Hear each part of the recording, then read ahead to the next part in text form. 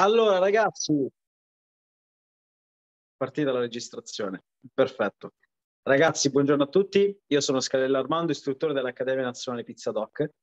Siamo vicini al Natale e ci avviciniamo quindi alle festività, ai momenti più belli che appunto andiamo a passare insieme ai familiari attraverso tanti impasti di panettoni, di grandi lievitati e di lieviti madre che vanno a inacidire in maniera impressionante. Quindi queste sono un po' le cose che succedono ogni tanto, soprattutto sotto le festività. Eh, nello scorso webinar abbiamo parlato di quello che era il lievito madre, infatti per chi se l'è perso questo appuntamento basta andare su YouTube, sul canale dell'Accademia Nazionale Pizza Doc, iscrivetevi al canale per non perdervi tutti quanti i video che andiamo a pubblicare, lasciate un bel like e un commento al video eh, qui sotto e per il resto, per qualsiasi dubbio, potete anche scriverlo direttamente nei commenti che poi vi verrà risposto. Allora, come stavo dicendo prima, eh, abbiamo fatto già un webinar inerente alla pasta madre che io invito un po' eh, tutti quanti anche a rivedere perché è molto molto interessante, molto molto importante per chi appunto si vuole dedicare a quello che è il grande lievitato. Oggi però tratterò un'argomentazione differente che ha preso un po' la mia attenzione ultimamente perché ne, se ne parla abbastanza anche sui social e secondo il mio parere viene data poca importanza su questo argomento.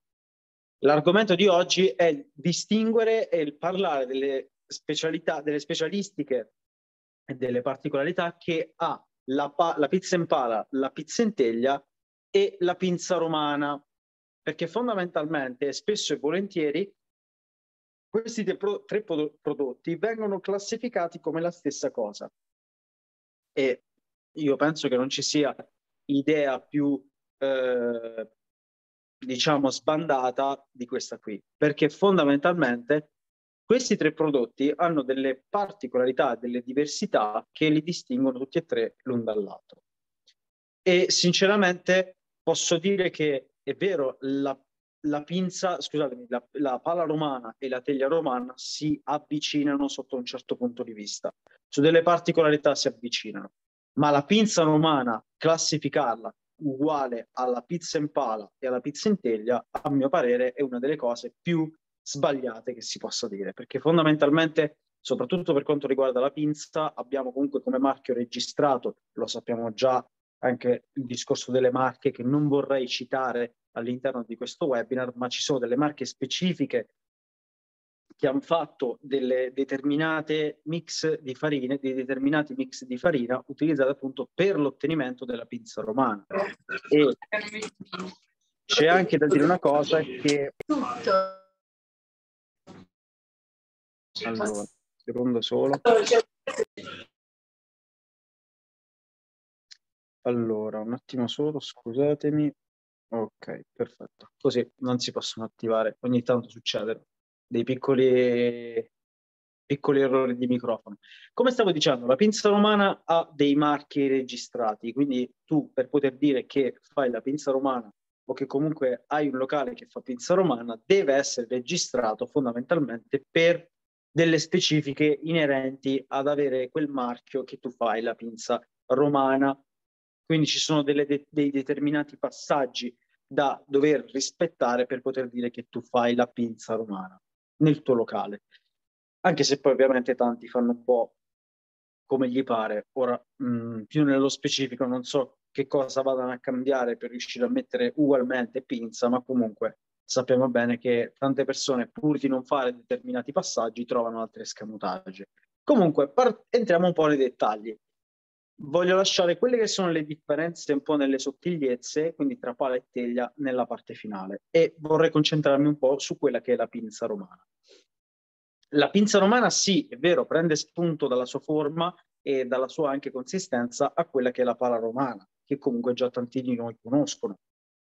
Però non possiamo classificarlo uguale, perché comunque è completamente diversa dalla pala, perché comunque la pinza romana nel suo mix di composizione eh, contiene determinate tipologie di farine, determinate tipologie di farine e anche in certe percentuali che comunque sono ben precise.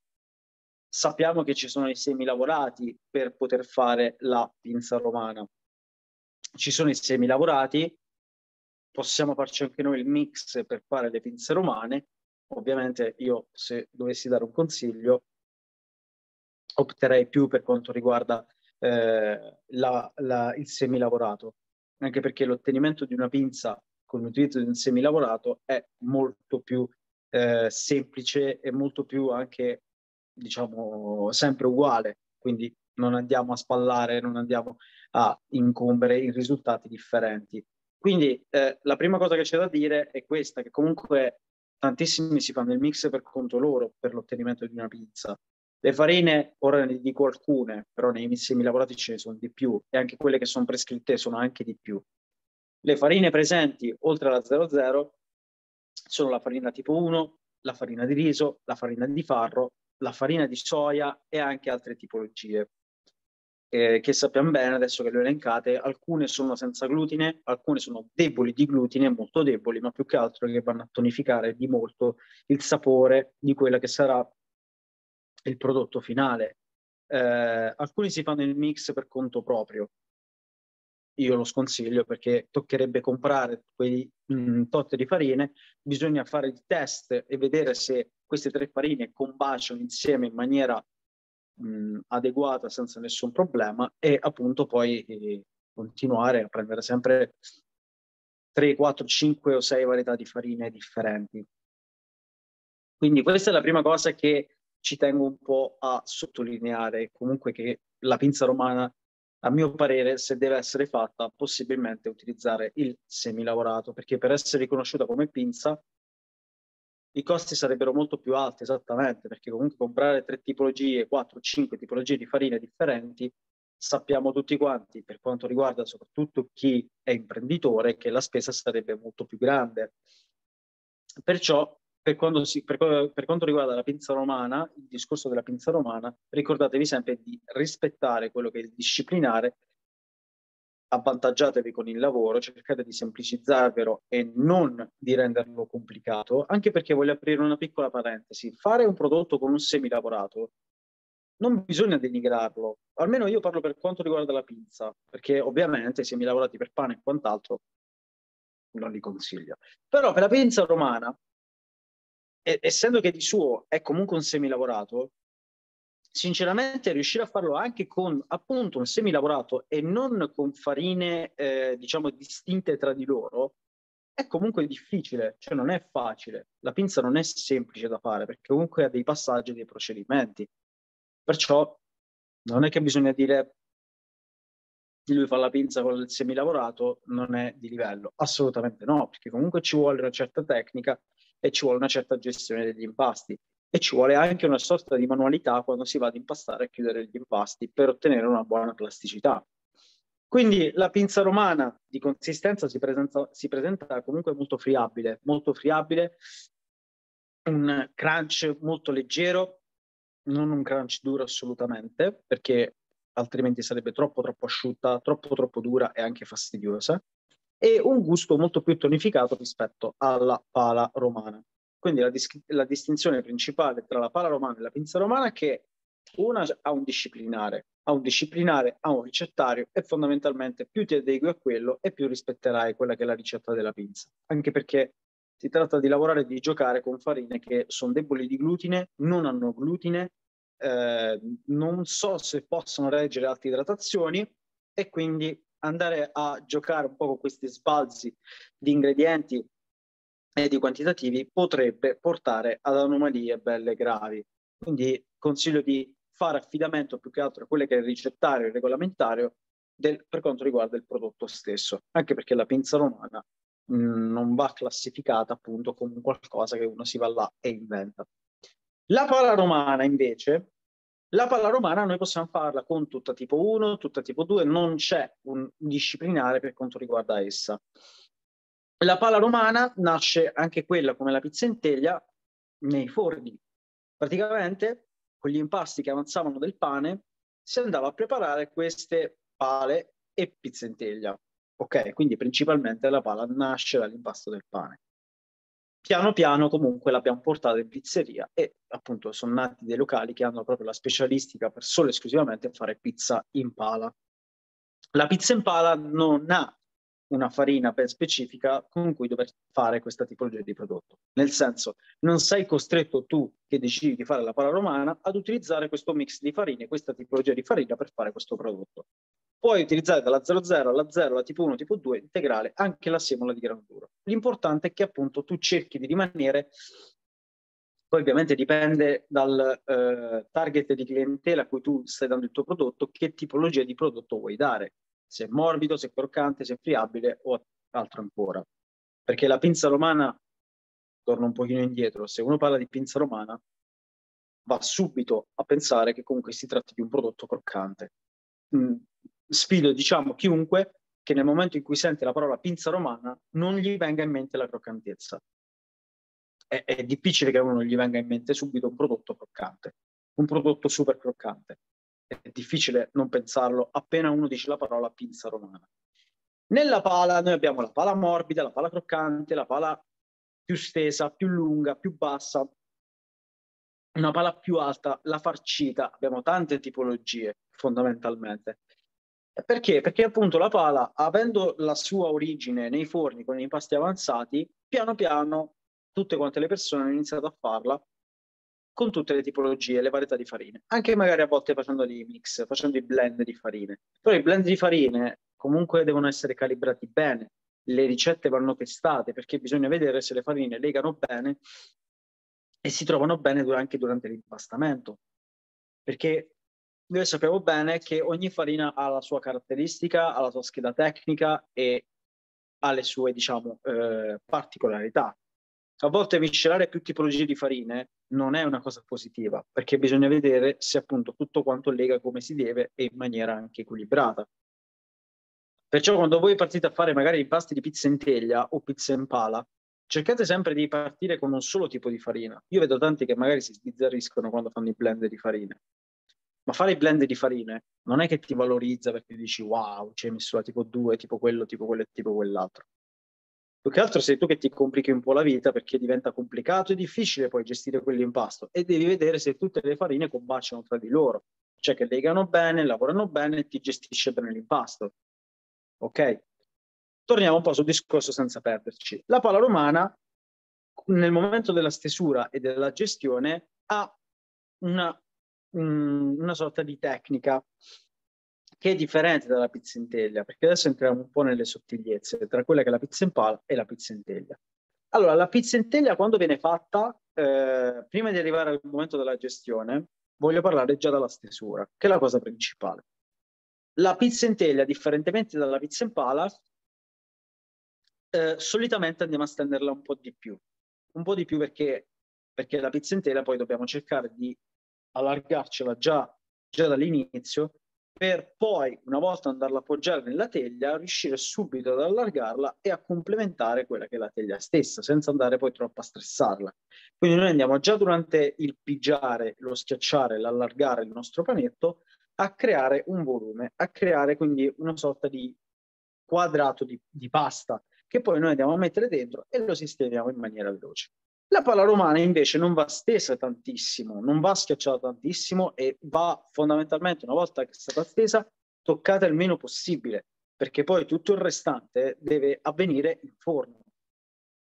Quindi, non avendo una teglia che fa da substrato, che consente alla pizza di dargli un po' più di tempo di sviluppare, di asciugare e quant'altro, ma abbiamo la pala che va subito sul piano della, del, del nostro forno, dobbiamo cercare di fare attenzione eh, di non aver toccato troppo, troppo il nostro panetto di pasta, perché altrimenti lo andiamo a rovinare, lo andiamo a bucare, lo andiamo comunque a rompere e ci perde di qualità. La struttura non è più omogenea, non è più come si deve e quindi ci perde su tutti quanti i fronti, no? Quindi la prima cosa è la stesura, poi entriamo nel discorso della gestione. Per quanto riguarda la gestione, noi possiamo fare questa tipologia di impasti con prefermenti, nessuno ce lo vieta. Possiamo tranquillamente utilizzare i prefermenti in, le, in tutti i casi e in tutte le tipologie di prodotti che appunto scegliamo di fare. Eh, nella gestione invece dell'impasto, una volta chiuso, la pala romana dovrebbe, deve cercare di avere meno ore di massa perché deve accumulare meno forza possibile. ok? Perché il panetto della pala romana, meno forza ha, meglio è, perché poi il tutto lo dà in forno, il tutto lo sviluppo lo dà in forno. Se il mio panetto di pizza in pala ha troppa forza, troppa elasticità, perché l'ha sviluppata tramite la massa che noi diamo solitamente per tipo la pizza in teglia, che succede? Che una volta che andiamo a fare la stesura, io faccio pala romana. Ok. Eh, leggevo tra i commenti, se c'è qualche domanda scrivetela tranquillamente. Perché se c'è troppa forza nel panetto della pizza in pala, il problema dove sussiste? Che praticamente una volta che andiamo a mettere il panetto in forno, a parte che non si allargherà più di tanto, quindi rimane stretto, si ristringe. Ma poi un altro problema è che una volta che comincia a sviluppare in forno, si fa il pallone. E quando si fa il pallone, quello è un difetto, non è un pregio del nostro prodotto. Il pallone si forma quando c'è troppa forza, c'è troppa elasticità all'interno del nostro panetto. E quindi creando questa sorta di camera piena di vapore, ci rovina completamente il prodotto, qualitativamente, visivamente e anche strutturalmente. E non va bene. Per cercare di non avere così tanta forza, cerchiamo di lavorare possibilmente con pochissima massa e molto più appretto perché con l'appretto non andiamo a sviluppare molta forza, perché la pala non deve avere troppa forza. Se ha troppa forza non va bene. Se è troppo debole non va bene. Dobbiamo però cercare di essere un po' verso il malleabile dell'impasto che non sul rigido ed elastico. Diversamente sulla pizza in teglia, invece, avere un po' più di, elastic- di elasticità è una cosa positiva perché comunque quando noi andiamo a fare la stesura, che appunto è pigiata un po' di più, se ha abbastanza forza l'impasto, che cosa succede? Che comunque riesce a mantenere dentro i gas, li riesce a mantenere dentro senza farli uscire e durante la sistemazione del panetto dentro la teglia non escono i gas, non si rompe la pasta e quando poi andiamo in cottura, cioè noi che facciamo? Lo lasciamo un po' rilassare poi lo andiamo a risistemare di nuovo nuovamente sui bordi e sui lati della teglia, andiamo a mettere l'olio, facciamo i buchi sulla parte, eh, nel caso in cui facciamo una focaccia, e poi andiamo in forno. In questo modo, quella forza non ci serve perché quel quantitativo di gas che mi rimane dentro intrappolato, non riuscendo ad uscire, mi creerà quelle che sono le strutture all'interno del della mia pizza in teglia. Altrimenti, se il panetto di pizza in teglia è troppo debole, quando lo andiamo a mettere in teglia e lo andiamo a mettere in forno, avrà difficoltà a crescere e a sviluppare. E questa cosa fondamentalmente non sarà positiva per tutto il restante della qualità e della particolarità del nostro prodotto. Sostanzialmente le particolarità si differenziano abbastanza. Le idratazioni no. Le idratazioni nel senso la pala può avere la stessa idratazione della teglia, perché comunque viaggiano sullo stesso treno. Anche sulla teglia non ci sono delle specifiche sull'idratazione e quindi possiamo variare da quello che è il 70, 75, 80%, eh, 90%, non ci sono delle idratazioni ben precise. Però ovviamente fate molta attenzione perché da un lato la possiamo lavorare e asciugare in un modo e dall'altro la lavoriamo ed asciughiamo in un altro modo e quindi bisogna fare molta attenzione. L'importante è ecco il discorso dell'equilibrare bene la forza e la debolezza del nostro impasto, cercando di comparare bene per non avere né il bollone che gonfia il nostro panetto e né rischiare che non si alza niente, che rimane tutta sottile e stesa praticamente come se fosse schiacciata. Ok, scusate un secondo. Quindi queste sono le particolarità principali per quanto riguarda tra la pizza in teglia e la pizza in pala. E come vi ho detto già all'inizio del video, sono delle sottigliezze che viaggiano un po' sullo stesso piano, viaggiano un po' sullo stesso piano e appunto si differenziano di poco. Si differenziano di poco, però bisogna sempre riconoscere queste differenze. Cioè, mai fare di tutta la buon fascio, dire che comunque sono la stessa cosa. No, perché a volte uno dice che sono la stessa cosa perché confonde il discorso che sono della stessa idratazione.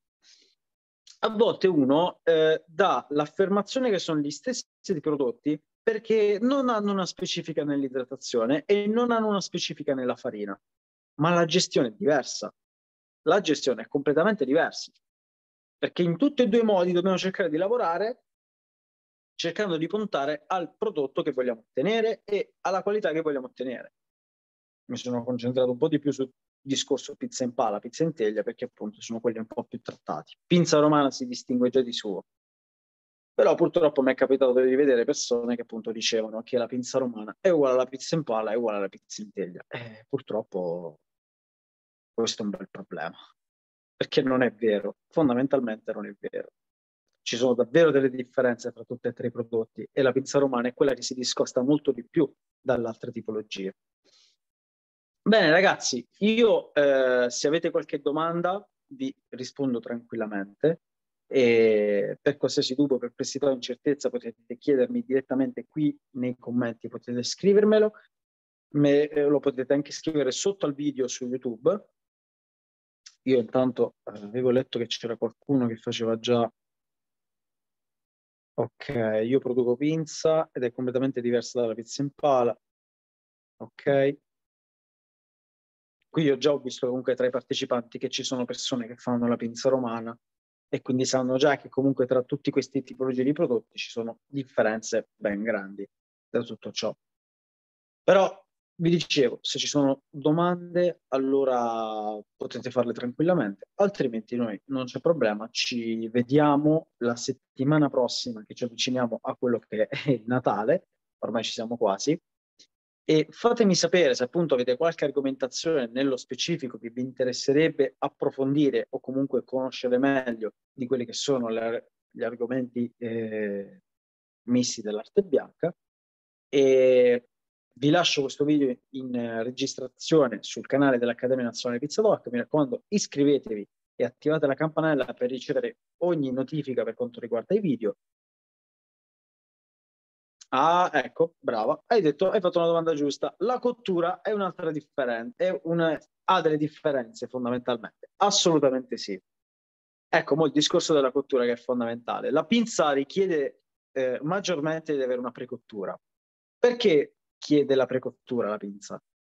Perché la pinza romana ha un alto contenuto di amidi, ha un alto contenuto di amidi e più riusciamo a a renderli disponibili per fare una buona Maillard e per fare una buona caramellizzazione attraverso la precottura, molto più facilmente riusciamo ad ottenere quella croccantezza e quella consistenza. Ecco perché la pinza viene consigliata alla precottura.